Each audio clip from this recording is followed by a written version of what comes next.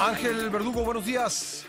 ¿Qué tal, Pascal? Muy buenos días. Pues aquí todavía, no tirado, pero todavía con la garganta ahí un poco eh, delicadona. Pues ahí con paciencia. Los únicos felices son mi mujer y mi nieto, porque hablo muy poco y al nieto, pues por razones obvias, he tenido que suspender las clases diarias de matemáticas y de física. Entonces, pues por él dice que siga mi tata enfermo, dice, no. Pero ahí la llevamos, Pascal. Yo creo que mañana, sí, como quiera, me doy una pasadita por allá en cabina. Bueno, oye, pues gusto, gusto escucharte, Ángel. Sobre todo que es día de Jeps mañana, pues. Eh, y han estado hablando muchos del Jeps que por fin descubrieron que el Jeps que cobra este gobierno está casi dos terceras partes arriba del que cobró la administración anterior. Pero apenas ahora, y como tú sabes, nosotros lo hemos venido diciendo desde hace meses Es y correcto. meses y meses. Muy bien. Pascal, eh, hoy la verdad es que vamos a darle importancia a la situación internacional, un poquito, y luego a una muy interesante entrevista que concedió el ingeniero Cuauhtémoc Cárdenas al periódico El País. La leí, está muy, muy interesante. ¿Qué, qué, qué cosa? Ahorita daré mi comentario, pero vamos a la parte internacional. Mira, ayer se dio una situación, vamos a decir, como dicen en inglés, awkward, eh, penosa, en esta reunión por la, la celebración del Tratado del Atlántico del Norte, la OTAN, cuando un grupo de gobernantes empezaron, como dicen, a vivorear a Trump en una reunión que tuvo, no sé si con Macron o con uh, Trudeau, con alguno de los dos. El caso es que estaba este joven Justin Justin Trudeau, estaba Boris Johnson, estaba eh, el, quién era el otro, no recuerdo, pero estaba el primer ministro de Holanda, el señor Rutte, eh, estaba la, la, hija de la reina Isabel, efectivamente, y esos son. Así es. Sí. Total que se pitorrearon bien y bonito del desempeño o de los desatinos u ocurrencias que dijo eh, el presidente de Estados Unidos y en un momento el señor Trudeau, primer ministro canadiense, eh, dijo algo que nosotros eh, eh, utilizamos de manera coloquial. Él dice, se le cayó la mandíbula, pero aquí nosotros decimos, se, se quedó con la boca abierta, decimos nosotros al escuchar, dio a entender los desatinos que estaba planteando Donald Trump. Lo primero que hay que decir antes de entrar a la irresponsabilidad diplomática del joven Trudeau es, al menos hasta donde yo sé, y creo que es lo mismo que en México, la responsabilidad de fijar la política exterior de Estados Unidos recae de manera total en el presidente de ese país. Es correcto. No en sus asesores, no en un grupo de lo que llaman en inglés non-elected, o sea, no elegidos, uh -huh. no, elegi no designados por el voto popular. Y en México es lo mismo. De tal manera que si en un momento el jefe de Estado hace y dice, bueno, pues él es la responsabilidad constitucional, vamos a decirlo, aun cuando sea una irresponsabilidad. Y la otra cosa, me parece, eh, Pascal, una irresponsabilidad o un abaratamiento de la, de la diplomacia en los tiempos que corren. Han llegado a las jefaturas de Estado jefaturas de gobierno personajes con muy poca o nula experiencia en esas aguas eh, tormentosas de la diplomacia. Y ha llegado también gente muy joven, no fogueada en esos asuntos. Y que no se malentienda, no estoy hablando del caso de López, ¿eh? estoy hablando en términos generales eh, en el mundo hoy. La llegada del joven Trudeau, la del mismo presidente Trump, la de Boris Johnson y algunos otros. Este joven eh, eh, que se siente el nuevo salvador de la revolución proletaria mundial que está en, en España, Sánchez, y su corneta de órdenes actual, el señor Iglesias. van a causar mucho daño, más del que ya han causado, por esa frivolidad, Pascal. Esos comentarios desmerecen una reunión tan seria como el aniversario del tratado, de la organización del Tratado del Atlántico del Norte, pero por otro lado, me hizo pensar en aquella época cuando alguien hablaba mal de nosotros en la escuela, Pascal, y llegábamos y le reclamábamos y decíamos, nos vemos en la esquina, o nos vemos a la salida. Y ahí en la salida nos dábamos de trompones y el, y el diferendo se resolvía. Pero hoy las condiciones son mucho más complicadas, Pascal, porque ¿qué hace el presidente Trump?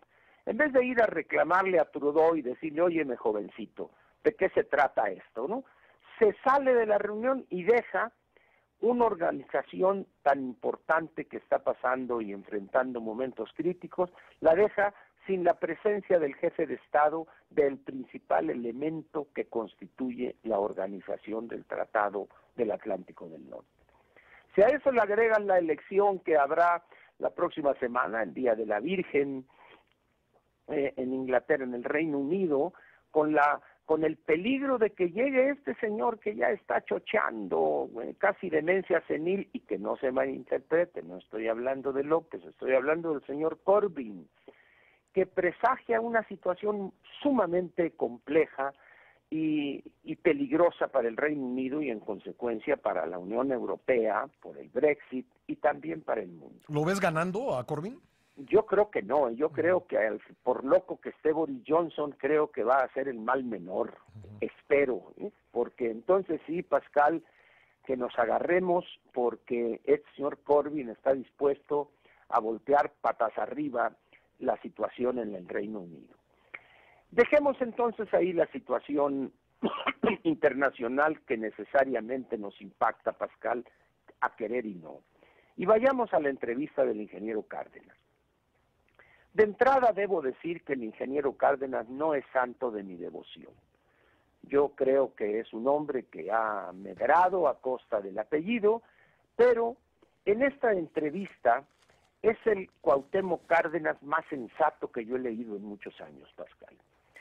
Y cuando él señala la verdadera catadura de este gobierno, lo desnuda completamente. Cuando le pregunta el reportero qué piensa sobre que el presidente López Obrador se declare cardenista, y rájale, le da con todo. O sea, yo los llamo a que lean esa entrevista.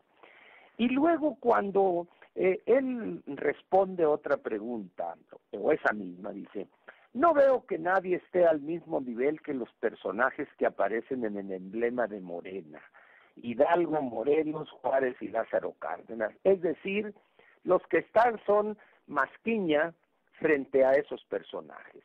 Y luego que si es de izquierda, pues no, no, no es de izquierda, no lo veo, dice, y así, eh, no diré más porque vale la pena leer la entrevista completa.